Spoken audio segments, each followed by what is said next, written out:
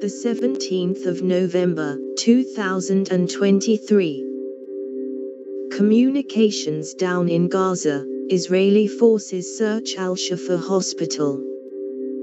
Israeli officials claim that Al-Shifa hospital is being used for military purposes by Hamas, which Hamas officials and doctors there deny.